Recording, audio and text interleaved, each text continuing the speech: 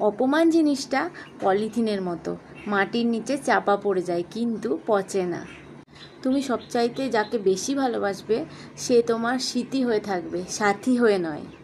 যে তোমার নীরবতার ভাষা বোঝে না, সে তোমার চিৎকারের ভাষাও বুঝতে পারবে না। সময় থাকতে আপনি যদি আপনার ভুলগুলোকে শুধরে নিতে না পারেন, তাহলে আপনি আবার নতুন একটা ভুল করবেন। যদি তোমার মনে হয় যে তুমি সব কিছু হারিয়ে ফেলেছো, তাহলে মনে রেখো, গাছেরাও প্রতি বছর তাদের পাতা হারায়, কিন্তু দাঁড়িয়ে থাকে শুভ দিনের অপেক্ষায়।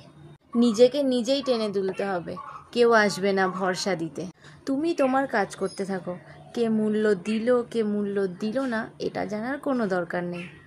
কষ্ট হলেও ভেতরের ক্ষতগুলো নিজের মধ্যেই রেখে দিন। কারণ মানুষ মলমের জায়গায় লবণ লাগাতে বেশি পছন্দ করে। যে ধোকা দেয়, সে চালাক হতে পারে, তবে যে ধোকা খায়, সে বোকা নয়, সে বিশ্বাসী। তুমি যদি তোমার কাজকে স্যালুট করো, তাহলে দেখবে তোমার আর কাউকে স্যালুট করতে হবে না।